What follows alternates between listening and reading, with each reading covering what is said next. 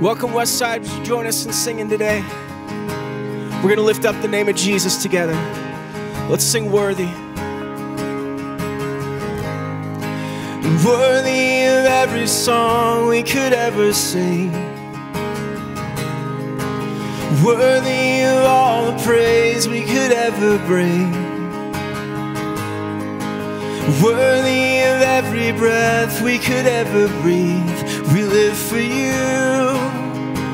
Oh, we live for you. And Jesus, the name above every other name. Jesus, the only one who could ever save. Worthy of every breath we could ever breathe. We live for you. Oh, we live for you. Sing holy. Holy, there is no one like you. There is none beside you. Open up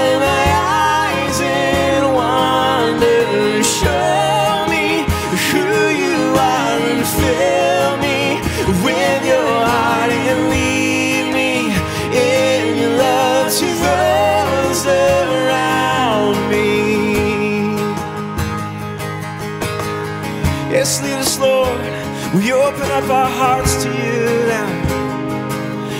We sing your name, Jesus. Jesus, the name above every other name. Jesus, the only one who could ever save. You're worthy, worthy of every breath we could ever breathe. We live for you.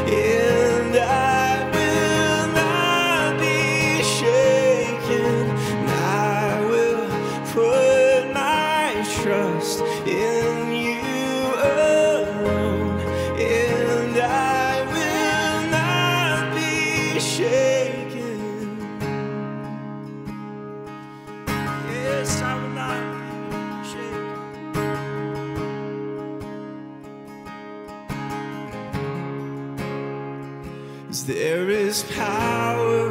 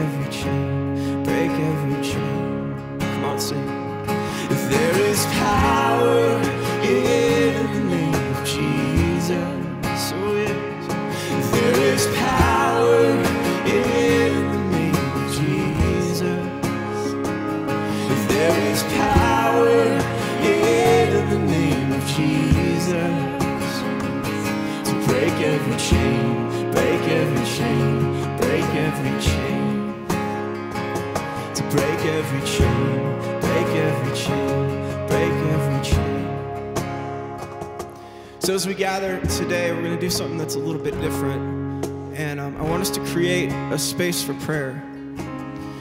Right where you are in your home, um, I want you to just create a space to be able to pray. And I want us to visualize not just in our home, but all over this city, lifting our prayers to the Lord. And this is what I want us to pray. You know, we come into the Lord's presence with thanksgiving, and that breaks the soil of our hearts open and it softens our hearts to Him. And that's why we sing.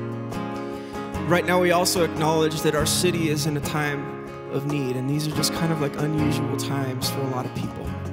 And so, as a church, we're going to stand up today and we're going to pray on behalf of our city.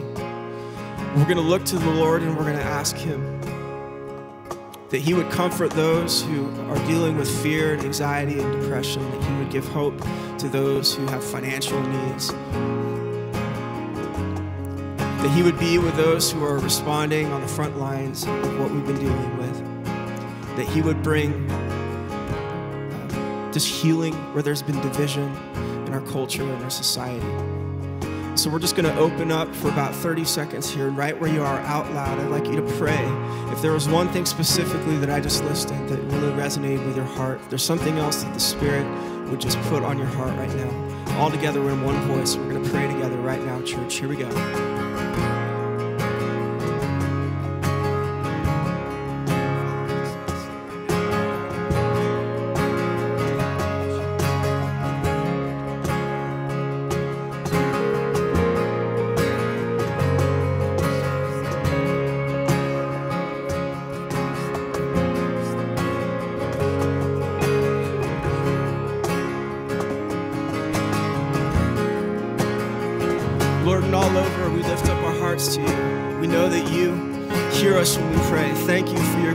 Thank you for your peace. Thank you for your love. Thank you for your salvation. Lord, as we sing these words, we just believe that there is power in the name of Jesus, whatever the thing is that we're facing right now, that Jesus, you have already overcome. Let's sing together. There is power in the name of Jesus. Let faith rise. There is power in the name of Jesus. Yes. There is power. In the name of Jesus To break every chain, break every chain, break every power, there is power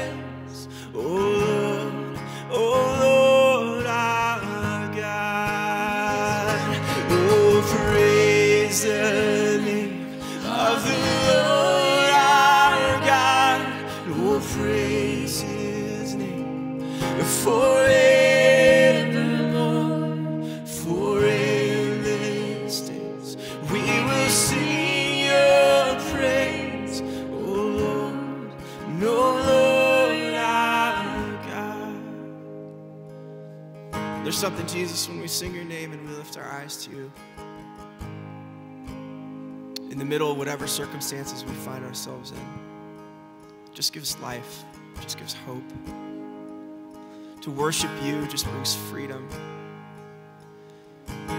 So I ask that as we continue in our gathering today, that you would just show us more of who you are, more of what that means for where we are right now. We pray this, all God's people together in Jesus' name.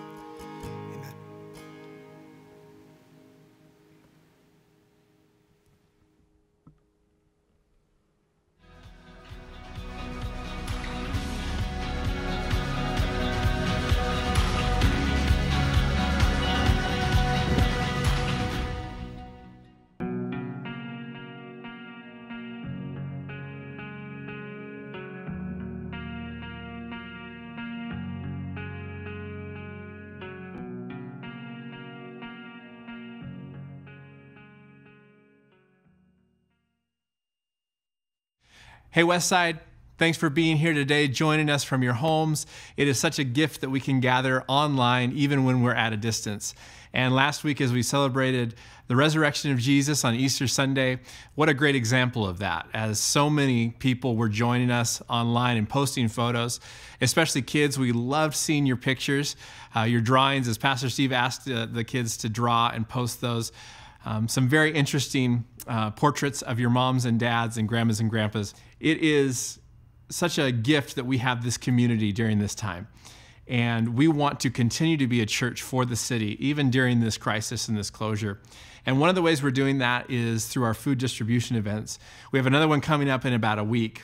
And so tomorrow, which is Monday from 9 to 3, we want to invite you, if you're able, to bring pantry items, cleaning supplies, um, as well as toiletries to the church parking lot for a drop off from 9 to 3 tomorrow as we prepare for a week out our food distribution event.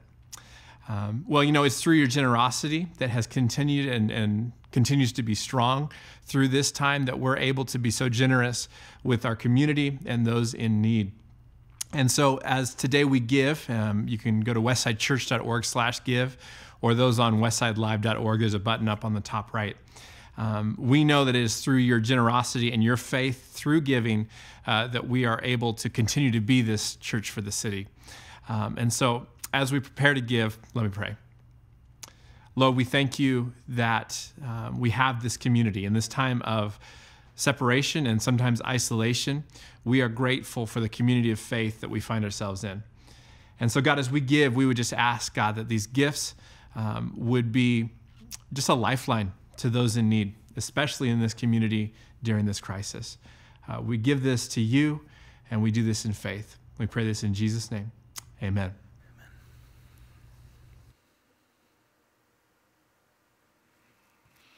Hi, everyone. It's great to be joining you today online again. Anybody getting tired of this yet? it's so good, though, that we were able to uh, gather like this together uh, in community. And I'm so proud of our church. How we've responded during this crisis um, is amazing. I'm going to share a few things about that uh, a little bit uh, later. You know, the life and love of Jesus expands, not just in spite of barriers, often because of barriers. Uh, the next three weeks, we're going to be looking into the book of Acts. It's actually a second book to the book of Luke, which we've spent the last 10 weeks studying. And so we're going to take three more weeks and dive into the second volume of Luke's works in the book of Acts. Uh, along with that, we have a daily devotional uh, that we started last week. I hope you can connect with that. You can find it at westsidechurch.org slash read. Um, there's uh, every day, six days of the week, there's a pastor who gives uh, a short devotional on video, and there's a reading plan and some other resources that you can uh, connect uh, together through the book of Acts over these next 20 days or so. So to, today and really through this series, I want to I want to talk about how did the life and love of Jesus, the gospel, flourish in the midst of adverse circumstances. And then also, I want to apply that to our lives. So, how do we then um, see the gospel of Jesus expand through our lives, through, um, through the life of our church in the midst of these adverse circumstances? Well, in Acts chapter 1, we're going to start right from the beginning. If you have a Bible, go ahead and grab it. Uh, you can online. There's Bibles available. YouVersion is a great app as well. Um, and in Acts chapter one, Luke writes these words uh, as a second volume to his uh, his first book. In the first book, O Theophilus, I have dealt with all that Jesus began to do and teach until the day when he was taken up, after he had given commands through the Holy Spirit to the apostles whom he had chosen. He presented himself alive to them after his suffering by many proofs, appearing to them during 40 days and speaking about the kingdom of God. So he, after Jesus rose from the dead, he spent 40 more days after that um, talking with the disciples, reconnecting with them. Uh, uh, Paul writes later that it was, it was over 500 people that he actually connected with during those 40 days. And while staying with them, he ordered them not to depart from Jerusalem, but to wait for the promise of the Father, which he said, You heard from me. For John baptized with water, but you will be baptized with the Holy Spirit not many days from now. So when they had come together, they asked him, Lord, will you at this time restore the kingdom of Israel? That's what they'd been waiting for from the beginning. And he said to them this It is not for you to know times or seasons that the Father has fixed by his own authority. But you will receive power when the Holy Spirit has come upon you, and you will be my witnesses in Jerusalem and in all Judea and Samaria and to the end of the earth. And Jesus is saying, Listen, I know you're going to be worrying about times and seasons, like when am I coming back? What's going to be happening in the end days? All of those questions that even some of us have today, right? But that's the, those are the things that we should not concern ourselves with. More so, we should be asking the Holy Spirit to empower us to be his witnesses. So after Jesus said these words, he went back to heaven. And the disciples gathered together. They chose Matthias, who was to replace Judas, the one that betrayed Jesus. Um, and then they were up in the upper room. They were in prayer together. And then, when the, in chapter 2, verse 1, when the day of Pentecost arrived, they were all together in one place. And suddenly there came from heaven, say, suddenly. I, I couldn't hear you. Sorry, little online joke there. Um, just wanted to add that in there. Um, you're probably not laughing either. You didn't say suddenly, and you're not laughing now. Anyways, let's keep going. Suddenly there came from heaven a sound like a mighty rushing wind, and it filled the entire house where they were sitting. And divided tongues of fire appeared to them and rested on each one of them. And they were all filled with the Holy Spirit and began to speak in other tongues as the Spirit gave them utterance. And then from that point on, they started to scatter. They started to share the gospel wherever they went. Peter preached one of his, arguably one of his best sermons that he ever preached in his entire life, and 3,000 souls came to know Jesus and were baptized that same day. Chapters two through four then describe the expansion of the gospel in these first few days of the early church. And both chapters two and chapters four end with great unity among the church. Uh, unity is described as they were of one heart and one mind. Signs and wonders were being done uh, by the uh, followers of Jesus, gatherings in homes and small groups and temples. Um, uh, the church was growing rapidly. Every day, more and more people came to know Jesus. What started at Pentecost with just a few hundred believers was now in the thousands. Truly, nothing like this had ever happened before. This was a brand new thing that God was doing. So, what about us? What does this historical narrative that we'll look through in the book of Acts mean to us right now in the midst of this pandemic? What, what I'm hearing a lot lately is about getting back to normal. There's this desire that I have, and I'm sure that you have, of wanting to get back, get things back to normal. And it'll be great. Listen, it'll be great when the quarantine is over. I, I can't, I, I'll be the first one like celebrating that. But I've been thinking and praying a lot about what getting back to normal might mean for us, for our church. And I sense this. I sense the Lord saying this to us. I don't want you to go back to normal. I don't want my church to return to what it was. And as he's speaking this to me, I'm like, okay, what does that mean? You know, there will always be, there will always be a strong pull back to what we're used to. It's like, it's like, it's like we're rubber bands, right? And, the, and we get stretched in the tension that we're experiencing right now.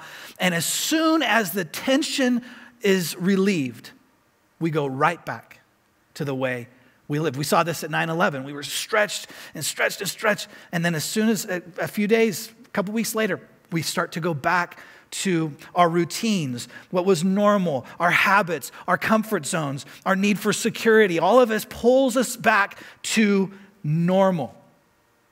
But God wants to do a new thing among us.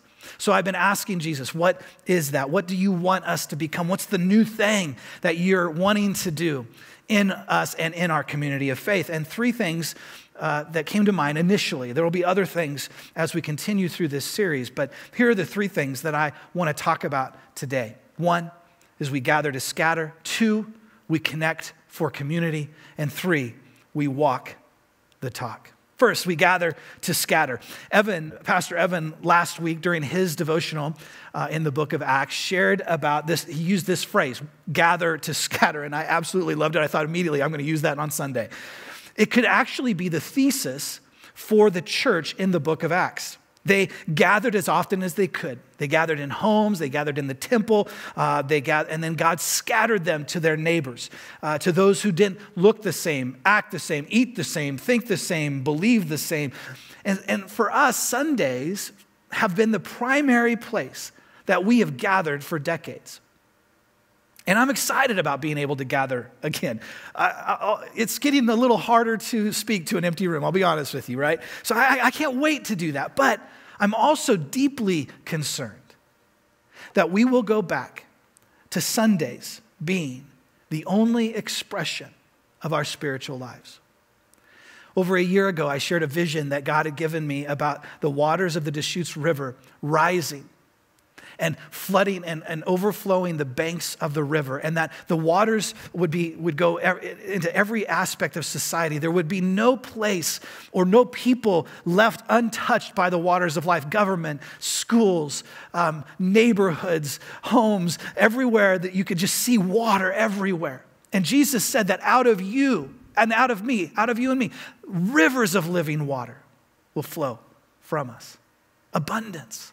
That's what Jesus wants to do. And I see more people coming to know Jesus and becoming like Jesus outside of Sunday service than inside of Sunday services.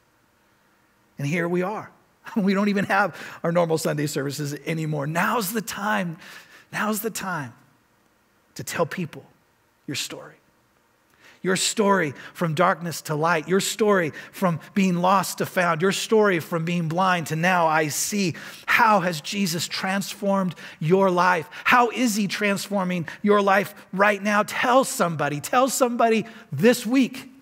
Share your story.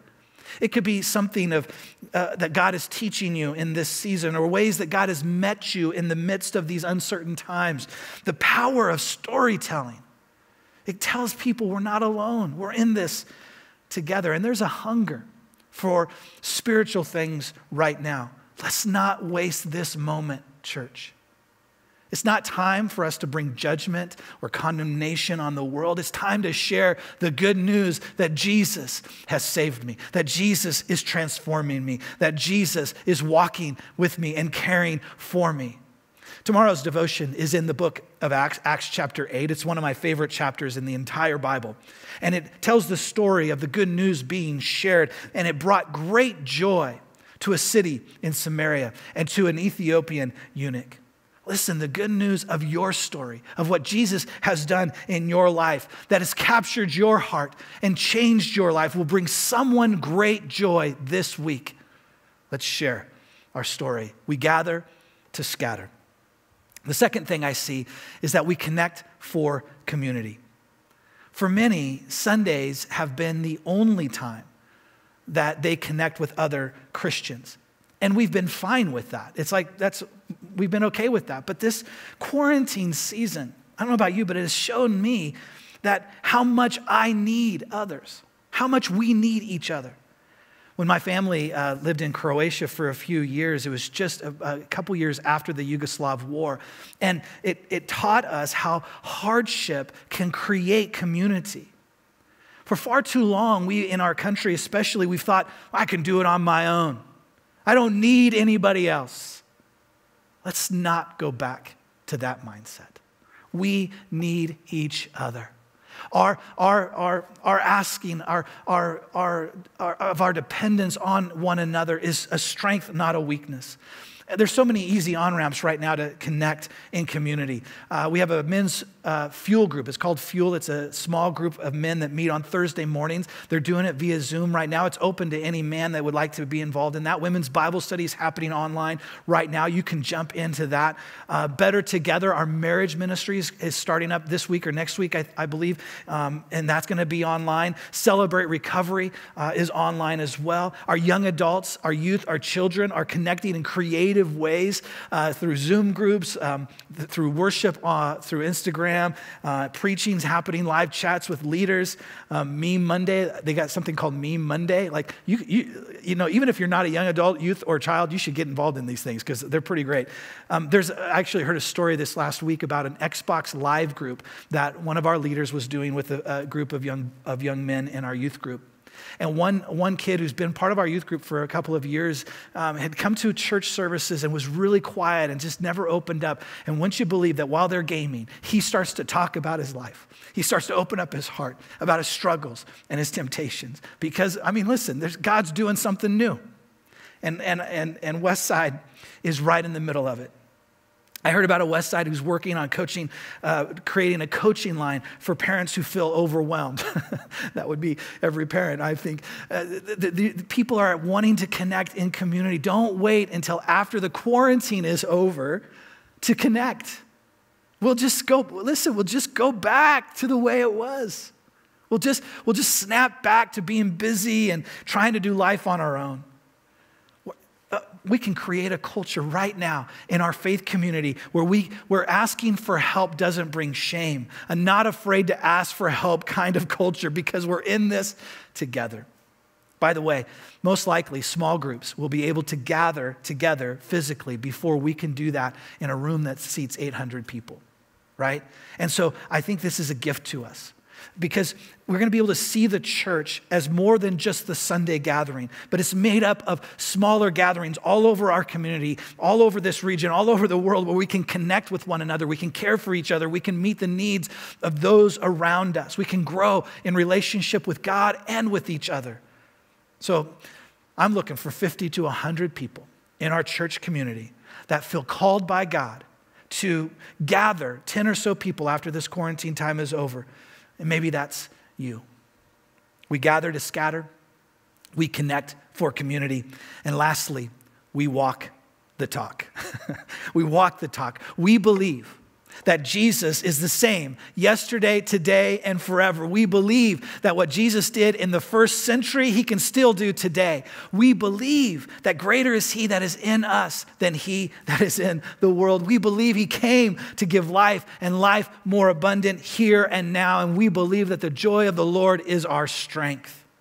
If we believe those things, it's time to walk out those things not after the quarantine, but right now. To live with a confidence that what Jesus began, he will complete, that he's doing a work among us, and that what he did in the first century, he still wants to do today through his church. What does that mean for us? Well, Paul wrote, uh, the Apostle Paul, who came to know Jesus later in his life, he wrote a book to a group of Christians in the city of Corinth. He actually wrote them two books. And the first one, 1 Corinthians, in chapter 2, he writes this and I, when I came to you, brothers, I did not come proclaiming to you the testimony of God with lofty speech or wisdom. For I decided to know nothing among you except Jesus Christ and Him crucified. And I was with you in weakness and in fear and in much trembling. But get this, listen to this. And my speech and my message were not in plausible words of wisdom, but in demonstration of the Spirit and of power so that your faith might not rest in the wisdom of men, but in the power of God. See this? I'm talking about asking God to flow through us in power today. Power to heal, yes, absolutely. Power to lay hands on the sick and that they be made well. For sure, we need to be doing that. But also power to bring joy to our community, power to speak a word of encouragement that brings someone else hope. This distribution of food that's going to be happening on April 27th will bring hope to people. Our church has helped dozens of families in partnership with Family Access Network. We've sent local coffee shop cars to teachers in our school district and to the FAN advocates. A Westsider procured and delivered 10,000 face masks to frontline workers at nursing homes and high risk establishments. Another Westsider organized a fundraiser for face shields for St. Charles employees. It's not just about helping in physical ways, though, it's also about helping in emotional and spiritual ways. One of the, our council members just last week in our Zoom meeting said that joy right now is a sign and a wonder. Having joy in the midst of this pandemic. We can pray. You know, a Westsider sent me a note last week regarding an uncle who is quite ill. And this is what he wrote Yesterday, our family decided to put out a call for prayer on social media. We set it for tonight at 8 p.m., and we have been shocked by the responses. Over 900 people have shared the post, and thousands have responded to pray for him. As I was praying last night, God opened my eyes to the fact that many of the thousands that are praying have no relationship with God. With no relationship, they are calling out for, to God for healing. It's just absolutely amazing what God is doing in this moment. This pandemic has caused a hunger and a desperation for an authentic move of God in our kids, in our city, in our own homes, in our world. So we have opportunities right now to pray for the sick. Even if we can't lay hands on them, we have the power to pray. We have the power to speak words of life through social media and Zoom meetings, to be voices of hope and salvation to our world that desperately needs it right now. Well, let me wrap this up. God wants to do a new thing. Not once we get through this, but while we're getting through it. So, what will you do this week? Will you share your story? Will you share your story, the good news of Jesus, of how he is transforming your life, how he is walking with you, how, is he, how he is giving you the strength and the wisdom to navigate this season? Will you share your story with someone this week? Will you connect in one of the many ways people are gathering digitally? Or maybe you're one of those 50 to 100 that I'm asking for that can create community around you. Will you be bold this week to pray for someone who is sick, to speak a word of encouragement and hope to someone who needs to hear it? See, the book of Acts, it will challenge all of us to be present and engaged in what God is doing right now, in whatever season we find ourselves in. He's, he's doing the heavy lifting, by the way. He's the one that does the work. But will we allow our lives to be a part of what he's doing? Church, let's not go back to the way it was. Let Jesus do a new work in you and in me in this season. God has positioned us for this moment. We, we may be the most aligned that we've ever been with the book of Acts. This is a defining moment, not just for our society, but also for his church.